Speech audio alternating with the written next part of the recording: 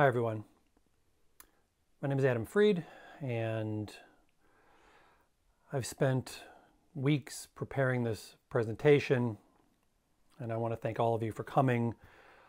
Um, and given the events of the past week, days, I wasn't even sure if I was going to do it. I'm going to be scrapping a lot of the presentation because I know everyone's busy, but I still want to show the film because I think it's, especially at this time, it's really important. Um, before I started filming this, I went to my favorite Italian deli. And that deli is located on the same street where Kristallnacht, Night of the Broken Glass, happened in uh, 1938. It's amazing to me that things like this is, are, are still happening to the Jewish people. I grew up Jewish, and you'll see that in, in the film and the presentation I'm about to show some things um, about my life living here in Germany. So with a little bit more of a, of a subdued presentation, um, I'm still going to go ahead and show it. And again, I thank everyone for being here. Um, and just know I, I appreciate everyone supporting this because as Jewish people, we absolutely have to stick together. And during this, you might see my, uh, I'm working with a, a green screen behind me. And so you might see my hair change, my clothes change. I'm just doing the best I can to get my message out there to the most people possible. So I want to tell you a story. Right in front of me, this is um, one of my prized possessions that I just came across. It's a hanger from a company called Kaufhaus Tietz. Kaufhaus Tietz was a department store in Germany started by a man named Hermann Tietz, who died in the early 1900s, and his family kept the department store going, and it was really one of Germany's first department stores. So when the Nazis came to power in Germany in 1933, the Tietz family was prosecuted. The stores were boycotted. The store in Regensburg here was is located about three blocks from me, and here's some pictures of it today and in the past. And from these pictures, you can see this is the street that Kristallnacht happened in 1938. After Kristallnacht, the business was sold to a German named uh, George Karg, non-Jewish owner who bought the company for pennies. He changed the name to the Hertie department store. And this is an image from the new company gathering in 1938. And Hertie was a, an abbreviation of Herman, from Herman Tietz. This man, George Karg, who took it over, he, a few years later, partnered with another man who had a company that he acquired from a person called Karl Amson Joel. In the next few years, these two men started another company that did laundry and clothing and actually ended up supplying uniforms for the German army and for the forced laborers during the Second World War. This hanger really belongs in a museum and hopefully someday I'll get it there and George and his partner who took over the company from Carl Amson Joel. Carl Amson Joel was the grandfather of Billy Joel. And this is just one story out of so many stories that come out of Germany during the war. And now I'm going to show you some of my story about living here.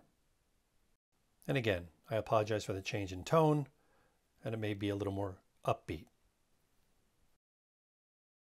Originally, I set up my organization, Visual History Initiative, to support Jewish education and also the Anti Defamation League. And that's what Visual History Initiative was all about and set up to do. But after the events of this past week, um, I asked a friend of mine who's from Israel, you know, how can I help? What can I do? And he said to donate to Magen David Adom, basically the Israeli Red Cross organization. So for this film and at this time, that's where our donations are going to go. So first I want to explain a little bit about how I got here.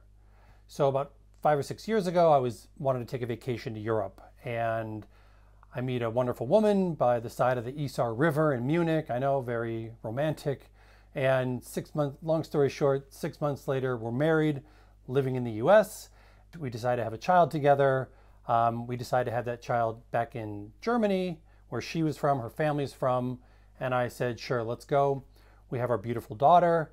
And then, unfortunately, six months later, we get divorced.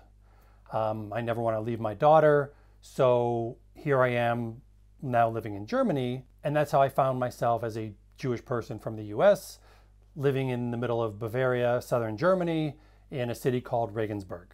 So one day I'm walking with my now ex-wife and we're walking in an area known as Stadt am Hof. It's a beautiful little area just on the other side of the Steinerne Brücke, which is one of the oldest stone bridges in the world. And I'll get to a little bit more of the history of Regensburg after we watch the walk. So she says to me that that building right there is a concentration camp, or was a concentration camp. And, you know, I grew up like most of you, learning about the Holocaust, watching documentaries, and the fact that there was this concentration camp, it's actually called a sub camp in the middle of the city, uh, I was just blown away. So I started doing my research, the amount of information that's out there, and the amount of these sub camps that were located in Germany and also all over Europe was staggering to me. So I bought a book. Let me show you that book. This is uh, like an encyclopedia of all the camps. And this one is a thousand pages long. There are one, two, three, five volumes of camps that make up this, this whole set. And like I said, once you start digging in, it goes pretty deep. So this was the beginning of me wanting to make documentary films because I knew if I had never heard about these camps, I'm sure 99% of the people in the US had never heard about them. I want to educate people, not only in the US, but also around the world about these camps because not many people know about them. So I called my friend Mike Harrigan, who's a successful director in Los Angeles. Here we are on the freshman high school baseball team. And we actually made a feature length documentary, and that's called Everything's Kosher. And it's about my life and family reconciliation, and also what it took for me to really rediscover after many decades of kind of ignoring my Jewish heritage. So with that, I want to show you a trailer for the film Everything's Kosher.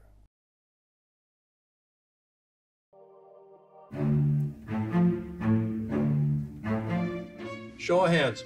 Who thinks I'm crazy to open up a Jewish deli in Germany? And that would be the best way to lose a million dollars. I feel like I'm the only Jew in Germany. You're not. Do you make challah bread? No. Are you Jewish? No, I'm not Jewish. You No. see my hair? I would give my right hand for a garbage disposal. I don't even know what it is. They don't build it in Germany. Maybe they are scared of, of Since my ex was German, she wanted to raise our child in Germany. So if I wanted to be any kind of dad, I had to move there. I have to f- figure out how I'm going to support myself and my daughter.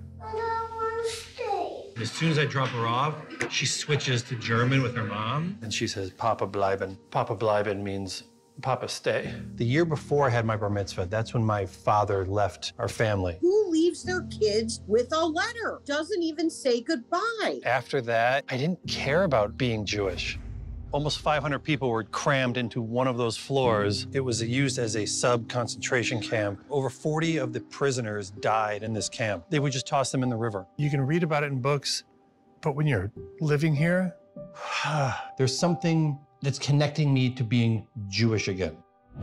Our tradition uses the mezuzah on the door. When you see it, it reminds you that you have a job to do. And perhaps that's a key to what you teach your daughter, too. You can't get a corned beef sandwich to save your life there. You can't even find skirt steak in Germany. that is quite depressing. This is like a taste of home. If I could bring this flavor to where I live in Germany, that would be amazing. This sounds crazy, but I'm thinking about a Jewish deli in Germany. Are you joking, or is this? Anywhere else in America, it would be tough. If you're gonna do it right, it's like being the Navy SEALs of restaurants. Be careful what you wish for. I miss a connection with a group of people. It's more about community. The people is family. My sister and I have had a rocky relationship, but she's always been there for me. If you're really gonna open up a Jewish deli in Germany, I will come out and help you. Check out it. All right. Maybe it's time to reach out to dad. He's at the end of his life. He's the only dad you have. You don't get another one. Dad, I hope someday you will get to meet my daughter in person. Love Adam. Now those are some pickles. It's almost like a pickle meditation. What are the chances of you bringing me 10 pounds of corned beef? We got the meat. The deli is saved! I'm not gonna be like my dad. I'm not gonna stop. Matzo balls are dropping. T minus three hours. Oh, God. My worst fear is no one shows up. If you don't believe in your product, why should I? As Jewish people say, L'chaim. You are the best cook ever. Ever?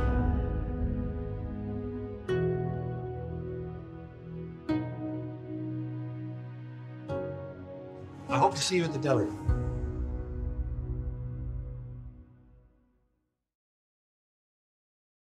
So, I hope you enjoyed that. And now, when we shot that film over a year ago, uh, it's due out in spring of 2024. Um, we did not want to make a Holocaust movie. There's a lot of documentaries out there, a lot of education out there. I wanted to do something different. I did not want to show bodies on, on carts. So I wanted, I wanted it to be a little more uplifting because the world needs that right now. And it's more about, like I said, my life in Germany, a lot of family issues, and really the love of a father for his daughter, and really how I would sacrifice everything to be with her. Oh, and obviously, as you saw, I attempt to open up a Jewish deli in the middle of Bavaria, southern Germany. What could go wrong? Now, after filming Everything's Kosher and then living in this town a few years longer, a part of the story that was important to me to tell was the essence of what it was like as a Jewish person to live here. So I made the walk. Now, before I show the walk, just let me explain a little bit about how I grew up. I grew up in a, in a very Jewish neighborhood. I felt that everyone was Jewish. There were probably 70 to 80% of the kids there were Jewish. Um, I had a bar mitzvah, but then after my parents divorced, um, we really stopped going to temple. And really, Judaism kind of fell by the wayside. I'd never gone to a Shabbat dinner. I only went to synagogue for special occasions. And then I found myself living in southern Germany. And this is my first film to be released, and it's being shown at film festivals around the world. I was in New York at the Soho International Film Festival. Next week, I'm going to Chicago and then on to Santa Barbara for the Santa Barbara Jewish Film Festival. And it was directed by a very talented up and coming director named Johnny Stern. Enjoy.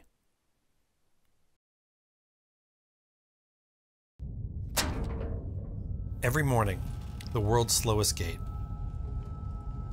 Every day makes me think why am I here? How did I get here? This isn't a fairy tale story. It's the haunting reality of an American Jew living in Germany. A few years ago, I needed a break. Thought I had it all, but I was missing something. Fuck it. Visit Europe.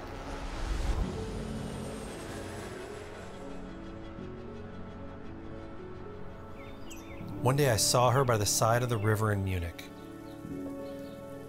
Love, lust in minutes.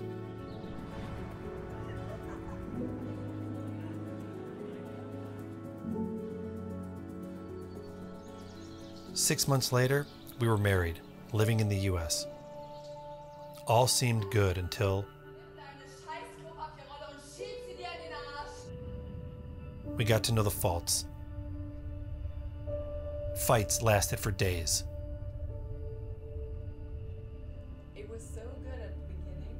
Therapy didn't help.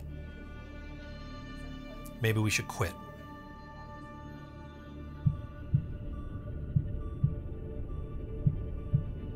What now?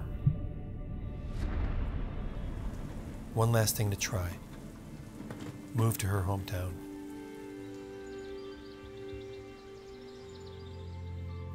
Birth. Joy. I'm never leaving her. But the bond that was once fractured was now permanently broken. Every day, I think about leaving.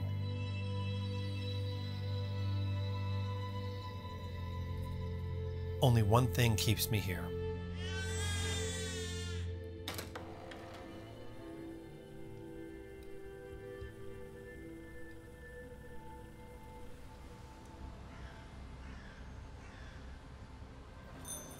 I settle into a routine, a morning walk. Thank God for him, Hamilton, always there. To visitors, this is a quaint village, a medieval World Heritage Site. To me, it is a daily reminder of the horrors that fellow Jews endured throughout history. Stolpersteiners, or stumbling stones, a few steps from my front door. Hundreds of stones in the village, everywhere, on every street. Each one represents a Jewish person taken and killed. Simon Oberdorfer, creator of one of the world's first velodromes, him, his wife, and brother in law, killed by the Nazis. The kosher butcher, forced to leave his wife and daughter, never to see them again.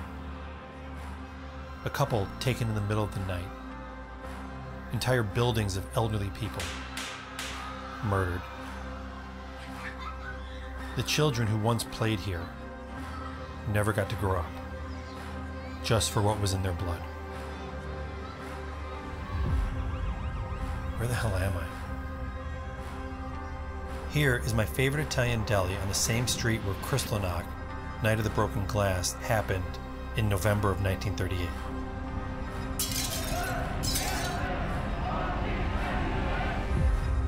Every corner tells a haunting story. Nazis. Nazis. Nazis. What the fuck? It all stares me in the face every single day.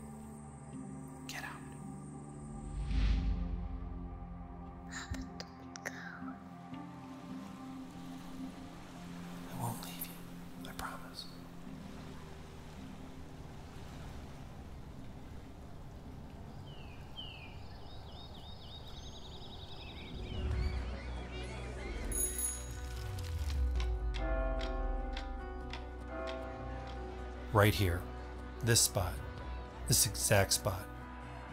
Thousands of villagers watched as Hitler is driven through the city. History, so much history. Napoleon stayed here. Oskar Schindler, the Oskar Schindler, lived right here. A rabbinical school here in the 1200s. A thousand years ago, Jews were here, thriving. Until anti Semitism drove the Jews out of the city for hundreds of years.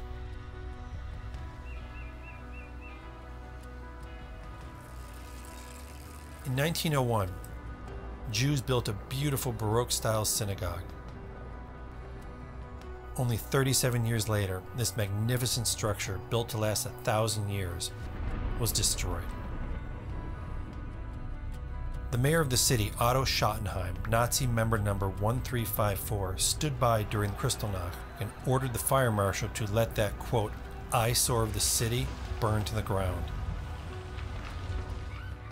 In the States, we'd be playing in an actual playground. Here, we play in a memorial to the destroyed synagogue.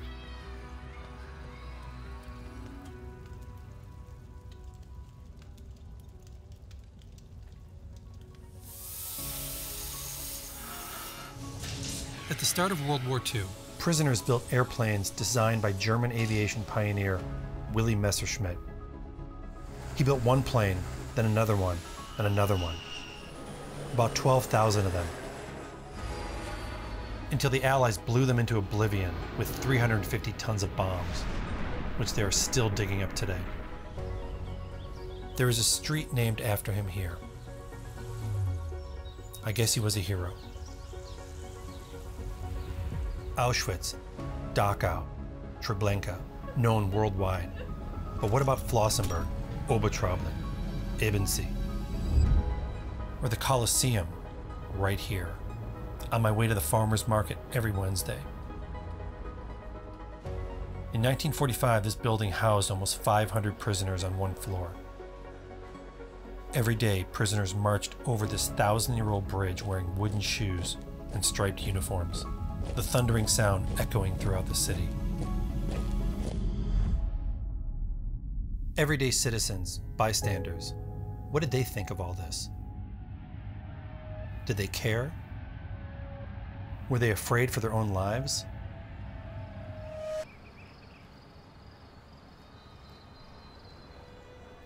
Before arriving in this town, I had no idea what my bloodline was.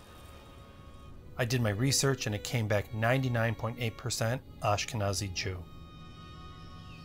If I lived here in the city of Regensburg 80 years ago, I'd be just another stone in the street. Living here, I hadn't met another Jew in four years. In order to join the synagogue, you need to register with the city that you're Jewish, a tradition that goes way back, and it explains a lot.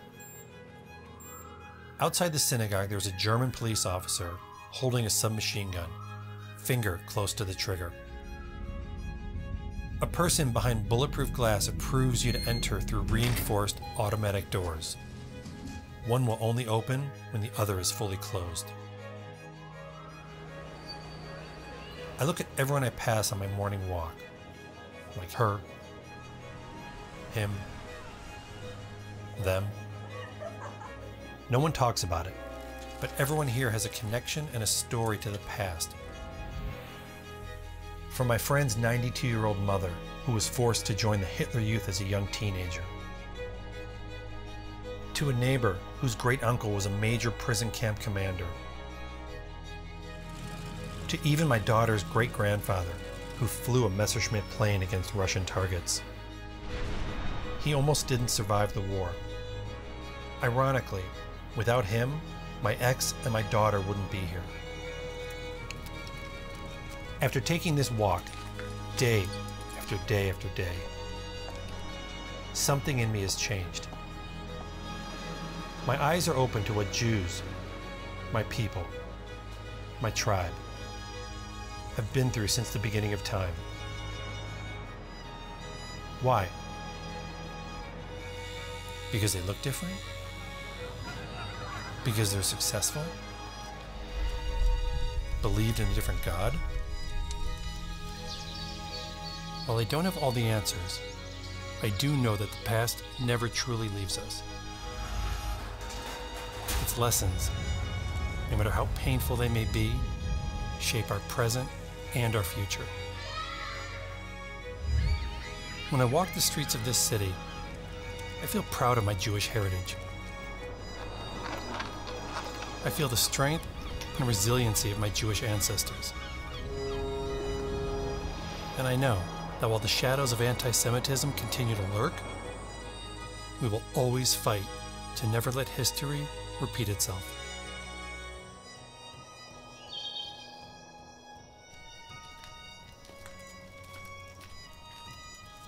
This is my morning walk, every day, through this city, as a Jew living in Germany.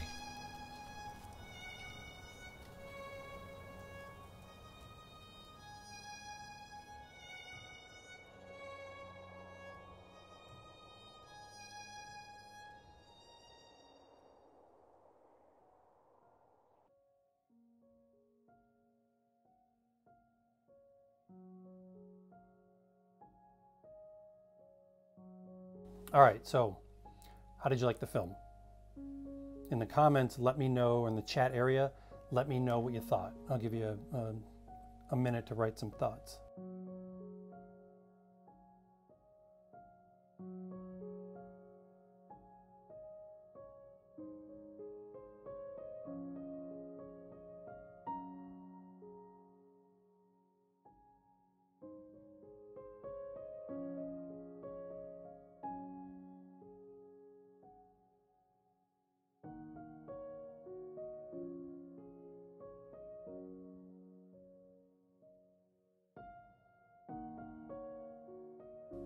Okay, so for the film, I didn't, I did not get to show all of the the history or things that I've seen here. So I did want to explain a little bit more, and I'll try to do it quickly and not take up too much of your time. But the things that I do see every day here um, are just, you know, kind of fascinating and mind blowing and maddening sometimes. A little bit about the history of Regensburg, because this helps to explain some things. So Regensburg was founded in 150 AD, I believe, by the Romans. They settled it as the most northern fort of the um, Roman Empire. In the 1200s, there was one of the largest Jewish populations in Germany here at the time. And there was actually a rabbinical school that made the city really a, a major Jewish center during medieval Europe. One of the things that I find fascinating, so the other day I'm, I'm jogging through the, the city park called Stadtpark, and I passed by the old Jewish cemetery. Now, the old Jewish cemetery is actually the new Jewish cemetery. What happened was in the 1500s, um, the politics of the city or the area completely changed, and the Jews that were thriving here were banished from the city. So there was a Jewish cemetery that had somewhere like 4,000 gravestones. They were all desecrated, where the city dwellers stole them. They used them for building materials, paved roads with them, used them in buildings. I'll show you a little video. If you know where to look at the old city hall that was dates back to the 1400s, there's actually a gravestone in the overhang, and you can see it right here. And there's a lot of these around the city, and if you know where to look, you find them. So one of these stones is uh, actually located every day when I go to take or pick up my daughter from kindergarten. Um, it's on a street that's named Am Judenstein, or Judenstein, which is, means Jewish stone. And I'll show you a picture of it. This is an actual gravestone from the Jewish cemetery and it is in the cornerstone of this building. Um, I think it was actually in a different place, and when they built this building here in about the 1900s, they put it there as a kind of a, a memorial. But again, it's one of those things where I walk by every day.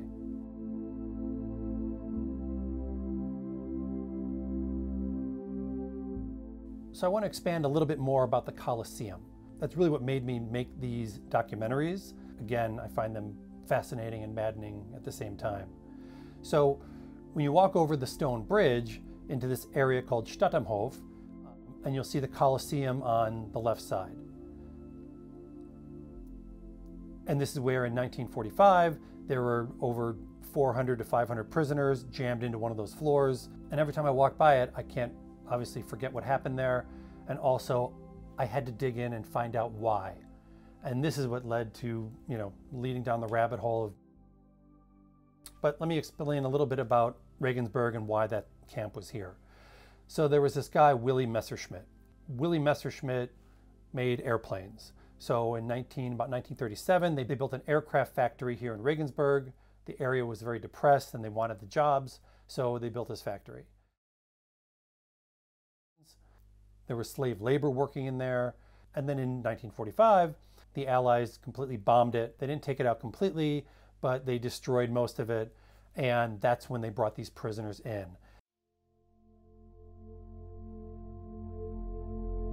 I always thought, well, where did the prisoners come from? They came from a, um, a camp, a work camp called Flossenburg.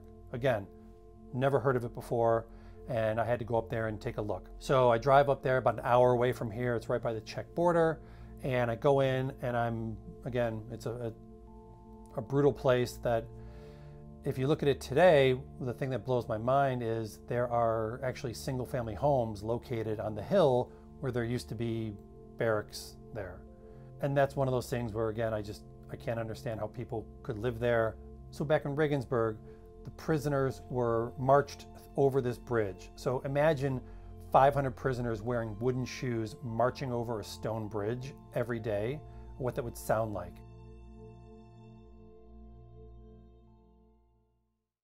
people ask me what, of, what are some of my favorite things about Germany. And I tell them that one of my favorite things is going to Austria. And there's a little city there called Ebensee. And on my birthday last year, and again, this is how down the rabbit hole you can go. So on my birthday, I decided to go to Austria and I go by this camp. So during the war, the, the Germans were making the V-2 rocket and it was being produced in the northern part of Germany. After the Allies bombed it, the Germans said, we need to protect this, let's put it inside of a mountain. And they started bringing prisoners there.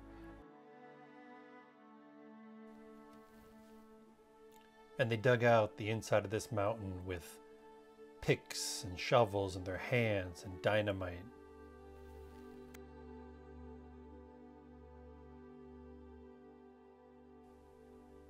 And part of the memorial is the Wall of Names.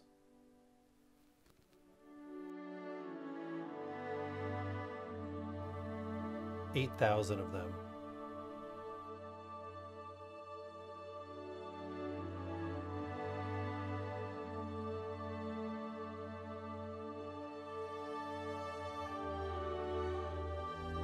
One of the things that really made my hair stand up on my neck was seeing my name on the glass. And it wasn't just one name. Um, doing my history of my family, I found out that uh, my name, last name used to be Friedman. So this one panel will show you the devastation. So I had to go see the inside of these tunnels. There, it's open um, as a memorial. There's a small museum inside of the town. There's a guy who's been the curator of it for the past 30 years. So I wanted to make another documentary about this camp because again, 99.5% of the people in the, in the world have never heard of it. So I sat down with him and I asked him, you know, why he does this. And he says he does it for the survivors and also for their families. And the really chilling part of this is when you go into these tunnels. Now I'm about six foot three, and you could easily fit three of me on top of each other, putting this tunnel at about 22 to 24 feet high.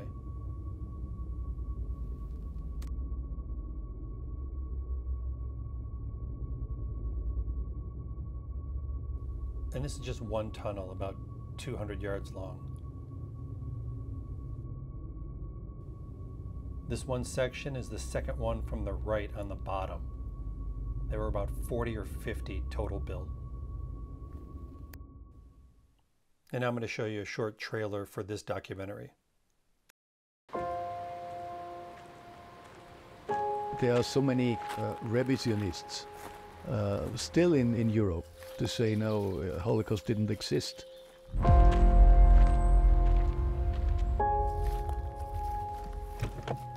Where so much bloodshed was, new life begins.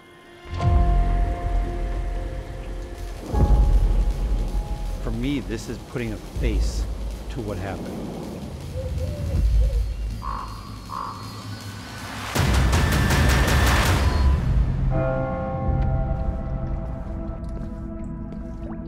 It is very important that the name is not forgotten. Yes, the name is mentioned somewhere. This is very, very important. Yeah, it's, uh, we know it very exactly. It's about 26,500 uh, went through the camp.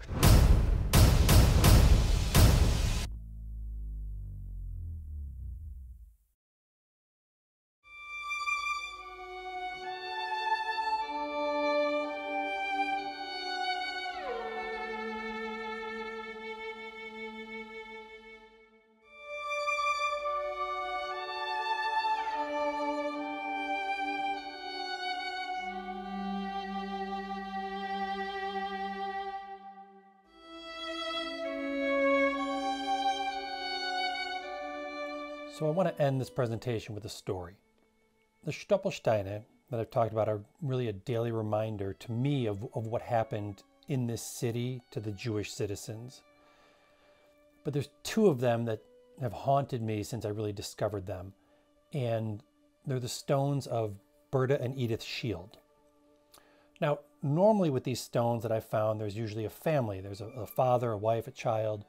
But these two stones only showed the mother and 14 year old daughter. And I always wondered what happened to the father. What I found was the husband's name was Bertold. And Bertold was a kosher butcher and he had a small shop in the city.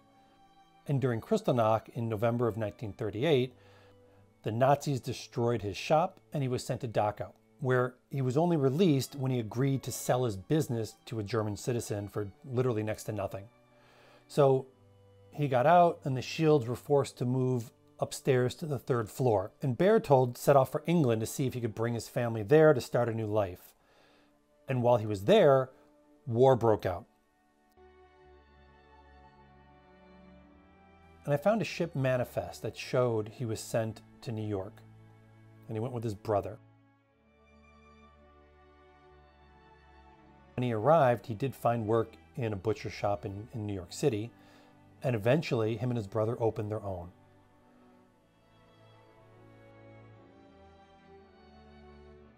And he never saw his family again in Germany. And Berta and Edith were sent to the Piaski concentration camp where they were killed in 1942.